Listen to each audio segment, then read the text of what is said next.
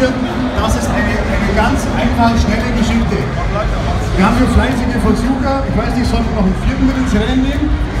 Habt ihr das im Griff? Hat das es geschafft? Nee. Ja, äh, super. Viel, viel Spaß. Prima gemacht. So, die nächste. Die nächsten hier. Bottomflip Challenge, Leute. Kommt vor und probiert einfach euer Glück, ja? Die Flasche muss sich einmal drehen und muss dann wieder auf dem Boden stehen bleiben.